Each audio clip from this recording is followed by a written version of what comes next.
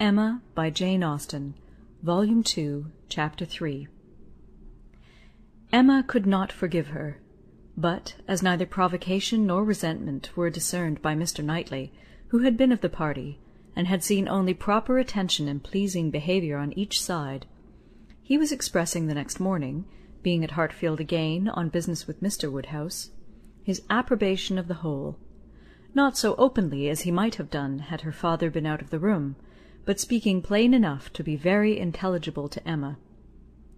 He had been used to think her unjust to Jane, and had now great pleasure in marking an improvement. "A very pleasant evening," he began, as soon as Mr. Woodhouse had been talked into what was necessary, told that he understood, and the papers swept away. "Particularly pleasant. You and Miss Fairfax gave us some very good music. I do not know a more luxurious state, sir, than sitting at one's ease to be entertained a whole evening by two such young women, sometimes with music and sometimes with conversation." "I am sure Miss Fairfax must have found the evening pleasant, Emma. You left nothing undone. I was glad you made her play so much, for having no instrument at her grandmother's it must have been a real indulgence." "I am happy you approved," said Emma, smiling, "but I hope I am not often deficient in what is due to guests at Hartfield." "No, my dear," said her father instantly, "that I am sure you are not. There is nobody half so attentive and civil as you are. If anything, you are too attentive. The muffin last night, if it had been handed round once, I think it would have been enough." "No," said Mr. Knightley, nearly at the same time.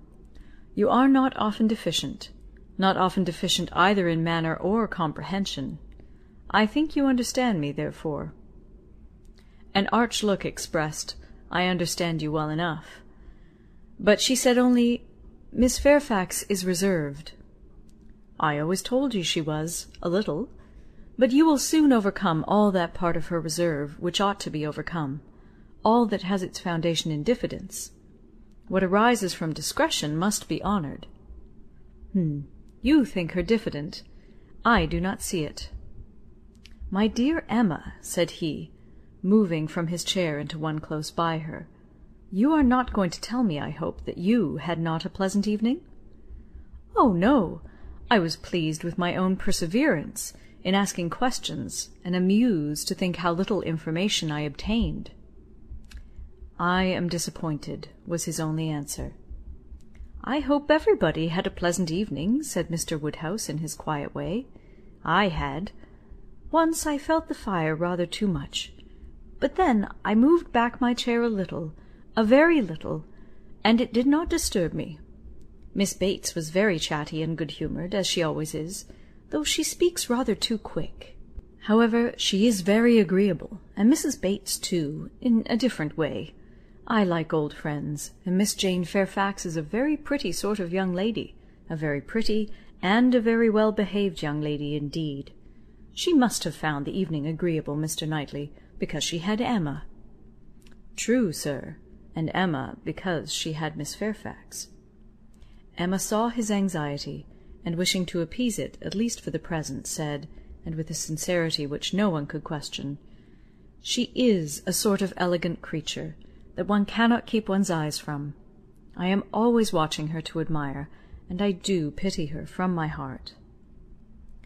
Mr. Knightley looked as if he were more gratified than he cared to express, and before he could make any reply, Mr. Woodhouse, whose thoughts were on the Bateses, said, "It is a great pity that their circumstances should be so confined a great pity indeed; and I have often wished, but it is so little one can venture to do small trifling presents of anything uncommon.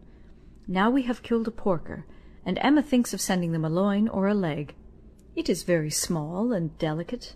Hartfield pork is not like any other pork, but still it is pork. And, my dear Emma, unless one could be sure of their making it into steaks, nicely fried as ours are fried, without the smallest grease, and not roasted, for no stomach can bear roast pork, I think we had better send the leg. Do not you think so, my dear?" "My dear papa, I sent the whole hind quarter. I knew you would wish it. There will be the leg to be salted, you know, which is so very nice; and the loin to be dressed directly in any manner they like." "That's right, my dear, very right. I had not thought of it before, but that is the best way. They must not over salt the leg, and then, if it is not over salted, and if it is very thoroughly boiled, just as Serle boils ours, and eaten very moderately of, with a boiled turnip, and a little carrot or parsnip, I do not consider it unwholesome." "Emma," said Mr. Knightley presently, "I have a piece of news for you. You like news, and I heard an article in my way hither that I think will interest you." "News! Oh, yes. I always like news. What is it? Why do you smile so? Where did you hear it? At Randalls?" He had time only to say, "No, not at Randalls. I have not been near Randalls," when the door was thrown open, and Miss Bates and Miss Fairfax walked into the room. Full of thanks, and full of news, Miss Bates knew not which to give quickest. Mr. Knightley soon saw that he had lost his moment, and that not another syllable of communication could rest with him. "Oh, my dear sir, how are you this morning? My dear Miss Woodhouse, I come quite overpowered. Such a beautiful hind quarter of pork! You are too bountiful. Have you heard the news? Mr. Elton is going to be married." Emma had not had time even to think of Mr. Elton and she was so completely surprised that she could not avoid a little start and a little blush at the sound. "There is my news. I thought it would interest you," said Mr. Knightley, with a smile which implied a conviction of some part of what had passed between them. "But where could you hear it?" cried Miss Bates. "Where could you possibly hear it, Mr. Knightley? For it is not five minutes since I received Mrs. Cole's note. No, it cannot be more than five or at least ten, for I had got my bonnet and spencer on just ready to come out. I was only gone down to speak to Patty again about the pork. Jane was standing in the passage. Were not you, Jane? For my mother was so afraid that we had not any salting pan large enough. So I said I would go down and see, and Jane said, Shall I go down instead, for I think you have a little cold, and Patty has been washing the kitchen. Oh, my dear, said I. Well, and just then came the note. A Miss Hawkins, that's all I know. A Miss Hawkins of Bath. But, Mr. Knightley, how could you possibly have heard it? For the very moment Mr. Cole told Mrs. Cole of it, she sat down and wrote to me. A Miss Hawkins I was with Mr. Cole on business an hour and a half ago. He had just read Elton's letter, as I was shown in, and handed it to me directly. Well, that is quite Oh, I suppose there never was a piece of news more generally interesting. My dear sir, you really are too bountiful. My mother desires her very best compliments and regards, and a thousand thanks, and says you really quite oppress her." "We consider our Hartfield pork," replied Mr. Woodhouse. "Indeed, it certainly is so very superior to all other pork, that Emma and I cannot have a greater pleasure than "Oh, my dear sir, as my mother says, our friends are only too good to us. If ever there were people who, without having great wealth themselves, had everything they could wish for, I am sure it is us. We may well say that our lot is cast in a goodly heritage. Well, Mr. Knightley, and so you actually saw the letter. Well! It was short, merely to announce, but cheerful, exulting, of course." Here was a sly glance at Emma. He had been so fortunate as to I forget the precise words, one has no business to remember them. The information was, as you state, that he was going to be married to a Miss Hawkins. By his style, I should imagine it just settled. "Mr. Elton going to be married!" said Emma, as soon as she could speak. "He will have everybody's wishes for his happiness." "He is very young to settle," was Mr. Woodhouse's observation. He had better not be in a hurry. He seemed to me very well off as he was. We were always glad to see him at Hartfield." "A new neighbour for us all, Miss Woodhouse," said Miss Bates, joyfully. "My mother is so pleased. She says she cannot bear to have the poor old vicarage without a mistress. This is great news indeed. Jane, you have never seen Mr. Elton. No wonder that you have such a curiosity to see him." Jane's curiosity did not appear of that absorbing nature as wholly to occupy her. "No, I have never seen Mr. Elton," she replied, starting on this appeal. "Is he is he a tall man?" "Who shall answer that question?" cried Emma. "My father would say yes, Mr. Knightley no, and Miss Bates and I that he is just the happy medium. When you have been here a little longer, Miss Fairfax, you will understand that Mr. Elton is the standard of perfection in Highbury, both in person and mind." "Very true, Miss Woodhouse, so she will. He is the very best young man. But, my dear Jane, if you remember, I told you yesterday he was precisely the height of Mr. Perry. Miss Hawkins, I dare say, an excellent young woman. His extreme attention to my mother, wanting her to sit in the vicarage pew, that she might hear the better, for my mother is a little deaf, you know.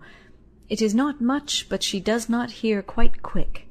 Jane says that Colonel Campbell is a little deaf. He fancied bathing might be good for it, the warm bath but she says it did him no lasting benefit. Colonel Campbell, you know, is quite our angel, and Mr. Dixon seems a very charming young man, quite worthy of him. It is such a happiness when good people get together, and they always do. Now, here will be Mr. Elton and Miss Hawkins, and there are the Coles, such very good people, and the Perrys. I suppose there never was a happier or a better couple than Mr. and Mrs. Perry. I say, sir, turning to Mr. Woodhouse, I think there are few places with such society as Highbury. I always say we are quite blessed in our neighbours. My dear sir, if there is one thing my mother loves better than another, it is pork a roast loin of pork. As to who or what Miss Hawkins is, or how long he has been acquainted with her, said Emma, nothing, I suppose, can be known. One feels that it cannot be a very long acquaintance. He has been gone only four weeks. Nobody had any information to give and, after a few more wonderings, Emma said, "You are silent, Miss Fairfax, but I hope you mean to take an interest in this news you, who have been hearing and seeing so much of late on these subjects, who must have been so deep in the business on Miss Campbell's account. We shall not excuse your being indifferent about Mr. Elton and Miss Hawkins." "When I have seen Mr. Elton," replied Jane, "I dare say I shall be interested but I believe it requires that with me; and as it is some months since Miss Campbell married, the impression may be a little worn off." "Yes, he has been gone just four weeks, as you observe, Miss Woodhouse," said Miss Bates. "Four weeks yesterday. A Miss Hawkins! Well, I had always rather fancied it would be some young lady hereabouts. Not that I ever Mrs. Cole once whispered to me but I immediately said, "No, Mr. Elton is a most worthy young man, but In short, I do not think I am particularly quick at those sort of discoveries. I do not pretend to it. What is before me, I see. At the same time, nobody could wonder if Mr. Elton should have aspired Miss Woodhouse lets me chatter on so good humouredly. She knows I would not offend for the world. How does Miss Smith do? She seems quite recovered now. Have you heard from Mrs. John Knightley lately? Oh, those dear little children! Jane, do you know, I always fancy Mr. Dixon like Mr. John Knightley I mean in person tall, and with that sort of look, and not very talkative." "Quite wrong, my dear aunt. There is no likeness at all." "Very odd. But one never does form a just idea of anybody beforehand. One takes up a notion and runs away with it. Mr. Dixon, you say, is not, strictly speaking, handsome?" "Handsome! Oh! no, far from it; certainly plain. I told you he was plain." "My dear, you said that Miss Campbell would not allow him to be plain, and that you yourself Oh! as for me, my judgment is worth nothing. Where I have a regard, I always think a person well looking, but I gave what I believed the general opinion, when I called him plain. Well, my dear Jane, I believe we must be running away. The weather does not look well, and grandmamma will be uneasy. You are too obliging, my dear Miss Woodhouse, but we really must take leave. This has been a most agreeable piece of news indeed. I shall just go round by Mrs. Cole's. But I shall not stop three minutes. And Jane, you had better go home directly. I would not have you out in a shower. We think she is the better for Highbury already. Thank you, we do indeed. I shall not attempt calling on Mrs. Goddard, for I really do not think she cares for anything but boiled pork. When we dress the leg it will be another thing. Good morning to you, my dear sir. Oh, Mr. Knightley is coming too. Well, that is so very I am sure if Jane is tired you will be so kind as to give her your arm. Mr. Elton and Miss Hawkins. Ah, good morning to you." Emma, alone with her father, had half her attention wanted by him, while he lamented that young people would be in such a hurry to marry, and to marry strangers too, and the other half she could give to her own view of the subject. It was to herself an amusing and a very welcome piece of news, as proving that Mr. Elton could not have suffered long, but she was sorry for Harriet. Harriet must feel it, and all that she could hope was, by giving the first information herself, to save her from hearing it abruptly from others. It was now about the time that she was likely to call. If she were to meet Miss Bates in her way, oh! And upon its beginning to rain, Emma was obliged to expect that the weather would be detaining her at Mrs. Goddard's, and that the intelligence would undoubtedly rush upon her without preparation. The shower was heavy but short, and it had not been over five minutes, when in came Harriet with just the heated, agitated look which hurrying thither with a full heart was likely to give, and the "Oh, Miss Woodhouse, what do you think has happened?" which instantly burst forth, had all the evidence of corresponding perturbation. As the blow was given, Emma felt that she could not now show greater kindness than in listening, and Harriet, unchecked, ran eagerly through what she had to tell. She had set out from Mrs. Goddard's half an hour ago. She had been afraid it would rain; she had been afraid it would pour down every moment, but she thought she might get to Hartfield first. She had hurried on as fast as possible, but then, as she was passing by the house where a young woman was making up a gown for her, she thought she would just step in and see how it went on; and though she did not seem to stay half a moment there, soon after she came out it began to rain, and she did not know what to do, so she ran on directly as fast as she could, and took shelter at Ford's. Ford's was the principal woollen draper, linen draper, and haberdasher's shop united; the shop first in size and fashion in the place.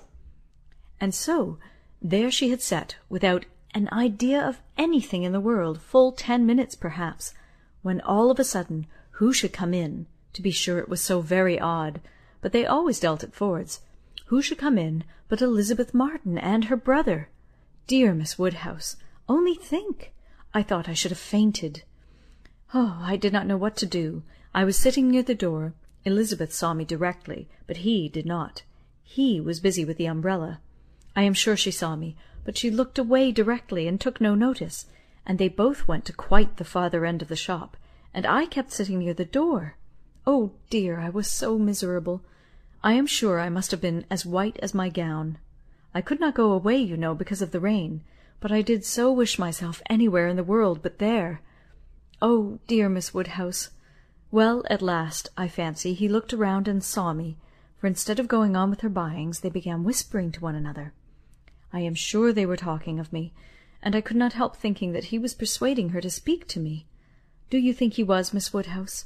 For presently she came forward, came quite up to me, and asked me how I did, and seemed ready to shake hands, if I would. She did not do any of it in the same way that she used. I could see she was altered; but, however, she seemed to try to be very friendly, and we shook hands and stood talking some time. But I know no more what I said. I was in such a tremble. I remember she said she was sorry we never met now, which I thought almost too kind. Dear Miss Woodhouse, I was absolutely miserable. By that time it was beginning to hold up and I was determined that nothing should stop me from getting away. And then, only think! I found he was coming up towards me too. Slowly, you know, and as if he did not quite know what to do. And so he came and spoke, and I answered, and I stood for a minute feeling dreadfully, you know one can't tell how. And then I took courage, and said it did not rain, and I must go, and so off I set and I had not got three yards from the door when he came after me, only to say, if I was going to Hartfield, he thought I had much better go round by Mr. Coles's stables, for I should find the near way quite floated by this rain. Oh, dear! I thought it would have been the death of me. So I said I was very much obliged to him; you know I could not do less; and then he went back to Elizabeth, and I came round by the stables. I believe I did, but I hardly knew where I was, or anything about it. Oh, Miss Woodhouse, I would rather done anything than have it happen; and yet, you know, there was a sort of satisfaction in seeing him behave so pleasantly and so kindly, and Elizabeth too. Oh, Miss Woodhouse, do talk to me and make me comfortable again." Very sincerely did Emma wish to do so, but it was not immediately in her power. She was obliged to stop and think. She was not thoroughly comfortable herself.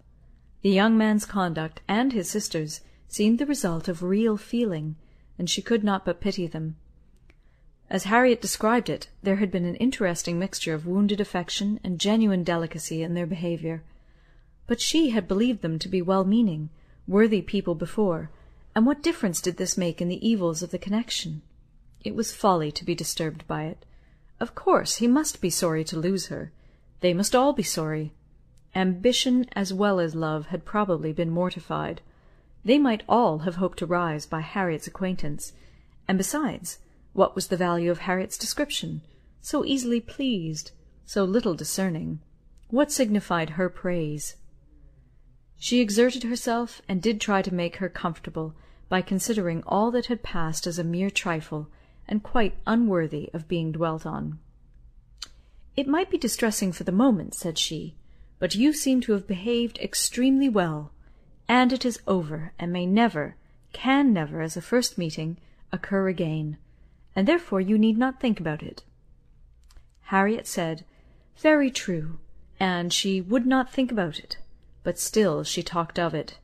Still she could talk of nothing else; and Emma at last, in order to put the Martins out of her head, was obliged to hurry on the news, which she had meant to give with so much tender caution, hardly knowing herself whether to rejoice or be angry, ashamed or only amused, at such a state of mind in poor Harriet such a conclusion of Mr. Elton's importance with her. Mr. Elton's rights, however, gradually revived. Though she did not feel the first intelligence as she might have done the day before, or an hour before, its interest soon increased, and before their first conversation was over, she had talked herself into all the sensations of curiosity, wonder and regret, pain and pleasure, as to this fortunate Miss Hawkins which could conduce to place the Martins under proper subordination in her fancy. Emma learned to be rather glad that there had been such a meeting. It had been serviceable in deadening the first shock, without retaining any influence to alarm. As Harriet now lived, the Martins could not get at her without seeking her where hitherto they had wanted either the courage or the condescension to seek her; for since her refusal of the brother, the sisters had never been at Mrs. Goddard's, and a twelvemonth might pass without their being thrown together again, with any necessity, or even any power, of speech. End of Volume Two, Chapter Three